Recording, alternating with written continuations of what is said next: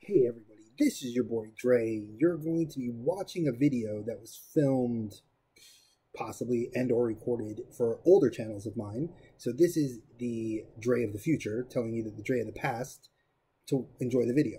So I hope you guys enjoy it. It's different. A lot of y'all wanted some of my older school content, and since I'm going through the hard drive, finding some good gems for you guys to enjoy.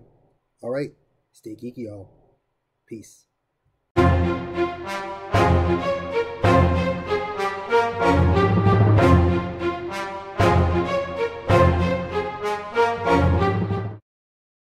Welcome everybody to the Geek Depot. It's your boy Dre, and yes, this is an unboxing, and this is not just your typical unboxing.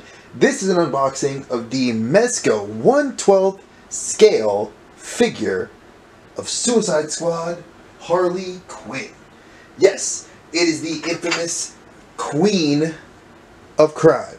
Well, not really the Queen of Crime, because most everybody loves her nowadays. So, this is the unboxing I wanted to do. It's actually not my toy, it's my roommate's, and you know, when you ask your best friend, can I unbox something? They say, sure. Uh, well, if I broke it, it's mine. So I don't want to pay the 80 bucks to replace this. So I'm going to do my best to unbox this and show you guys what the Mezco 112th line looks like. Now, for those that know, uh, your boy Dre has been interested in getting a couple of 112s, scale myself. So obviously, this tells you it's the 112th. It says pose, play, display and it's by Mezco. Now this is obviously Suicide Squad Harley, and it tells you here, as you can see on the back, all the cool accoutrement that she comes with, her gun, this, the Goodnight Slugger, uh, it shows you some alternate heads it comes with. It tells you not for a toy for children, intended for adult collectors only. That's actually the first time I've ever seen that on a box. I thought that's pretty cool. It tells you ages 18 and up. Uh, it shows you what she looks like and some poses you can do. So let me actually, uh, besides doing that, it tells you that there's over 30 points of articulation. Actually, this is less points of articulation than a uh, SH Figuarts. So that's interesting to, to note. So I'm going to take the sleeve off. And the sleeve actually looks really cool. I kind of like this. Like they do a lot, the, a lot of that with the Hot Toys. So you can see here, it tells you the 112. It's actually got a pretty cool design on the back here, it's uh you can't really see it. It looks like an ant face. I don't know why. Might be the Mezco, uh, uh I guess mascot. But here she is. There's the different heads.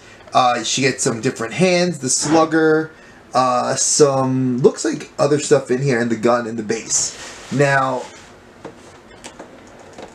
I'm gonna try to do this gently because I've been wanting to unbox this uh, quite honestly, it looks, it looks amazing. So, put this over here. Now I'm actually going to put this back in the box, so I'm just going to slowly like take out some parts and just tell you what it feels like to the touch. Um, I did have my knife in case I had to actually open some parts of it, but as you can see here, it's actually got some really cool things. And it's something I think that's actually uh, to be noted that it actually has some pretty cool detail on the actual little uh, accoutrement. The I say accoutrement, but the actual accessories. Uh, you know, for the for the you know the nerds that say on that Dre's using a thirty dollar word. so let's actually take this out. Now they actually layer it up. So you have this plastic layer that's actually going to go over the figure, which is inside of a plastic baggie, and it covers some of the accessories. Uh, this is the holster she wears to hold her gun, and it actually can hold the pistol. That's actually pretty pretty damn cool. Uh, I didn't know it could do that. Uh, it's the Slugger, which has got some amazing detail on it, and the gun itself. Now, um, obviously, you have the different sculpted heads. You have her with the uh, the tongue out. I gotta give it some amazing detailing. Now, the paint on the hair is not so great. Uh, it feels like it bled a little bit, but the, the details on the face are actually pretty nice. Um, trying to see. Um, yeah, like it bleeds through on top of it, so it's kind of a sad thing, but I've been wanting to see what this looks like, so this is kind of like a review of the toy too. So I, I again, Harley's not my character. She's several people that I love's character, so this one actually looks pretty cool. It's her chewing the bubble gum, and it's actually got the little bubble. Uh, again, the hair is very hard plastic, like similar to a Play Arts Kai, but the face sculpt doesn't look bad. So let's put that back here. Uh, you get different sets of hands. You get the glove. Uh, you get the. They actually they painted her fingernails on the hands, which I thought was pretty cool, uh, similar to her hairstyle. Now let's take this. Now it has a, a, couple layers of plastic. Like I said, this is not mine, so I'm being very gentle with this. Uh, like I said, I wanted to see the material on the toy and actually see how they feel because eventually I would like to purchase one. Now this already off the bat is kind of creepy because uh, I don't want to say creepy is I guess a bad adjective. Let's try to use the, the adjective uh, interesting. Um, you can tell that there's some ball joints for the articulation. Um, I do not like how this looks with the shoes. Um, they do actually have spiked heels and protectors for that for the base, which I think is actually a very uh, unique thing. There's two pegs in the feet, so that way you can actually put this in the base. I again these heel shoe sneaker thingies. I don't know what that is, so let me put this back on. Her spiked little heel. Oh, it came off. Uh, there we go. Um, there is actual the fishnet stockings are actually made of fishnet, and the clothes are actual cloth. Um, it is not clean on the sculpt right there at the head joint. You could actually see, but the heads are replaceable, so that's why I guess they didn't want to sculpt it too tight. But I do have to give some quality on the tattoos. Um, they even did the tattoos on her legs around her thighs, on her abdomen. Uh, I mean, it is actually a very well done figure. Uh, it's kind of creepy that there's actual cloth on this. I've never felt an action figure that has cloth built onto it. Again, these are things I didn't expect when I was seeing uh, Mezco. So you are getting what you pay for in the $80 price range because that's how much she was. Um,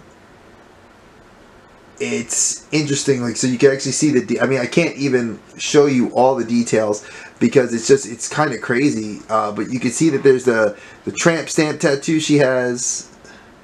Um, I again I'm not impressed with the neck and the head sculpt.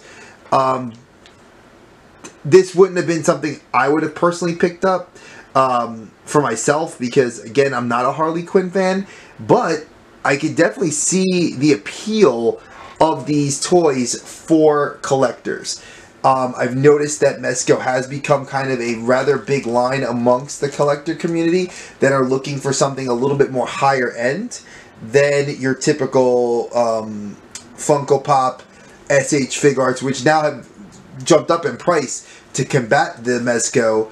But, you know, I, I mean, as a whole, I'm now skeptical for myself for purchasing one because I don't like the sculpt. But again, the one I got is Hella, and I like the character. So I'm wondering if that one's going to look better. Hopefully somebody gets an early beta of it um, and does a little bit of a, of, a, of a box review for it. So I might hold off still.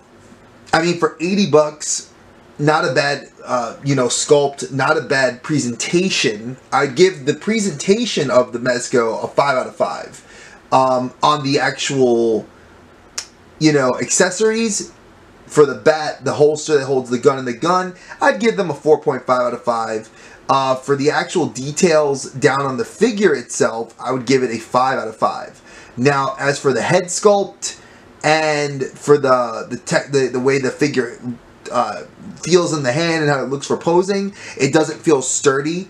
Uh, even though it says it's got 30 points of articulation, I don't think I'd want to go too crazy because it might rip the fabric.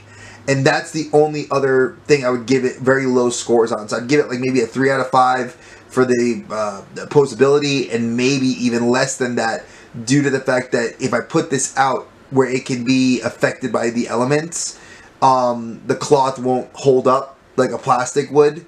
But then again, cloth also looks cool. It could show age, but again, it depends on what type of collector you you want to be with your toys. Um, again, I do like that Mezco details that this is for an adult collector. Um, I would say that um, you can see her bra through the uh, thing. So for parents that want to buy this for like a fan that's maybe 13, 14 years old, I'd probably reconsider it. Um, but again, overall, I'd give this a solid 3, 3.5 out of 5.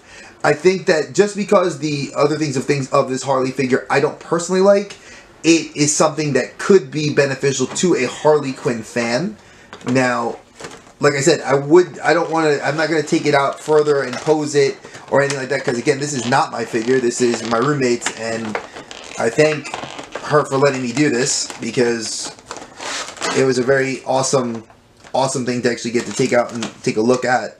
So, like I said, it's not a bad it's an interesting take on her figure.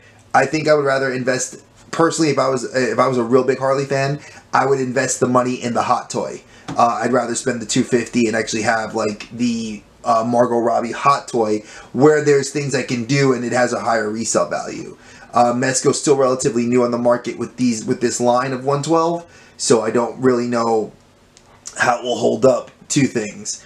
But you know, if you guys like this sort of stuff, you know, let me know in the comments below if you guys like my unboxing video. I know this wasn't like the greatest unboxing videos that I've done, but again, if it was mine, I would be going into more detail. I would take it out and I'd pose it and actually articulate it and see how things are.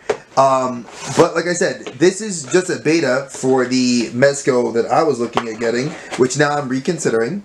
Um, but again, I would give it for presentation a solid for for this presentation wise this thing looks awesome. I mean it looks presentable as if it was a hot toys box. Uh, hot toys come in the same sleeves and everything.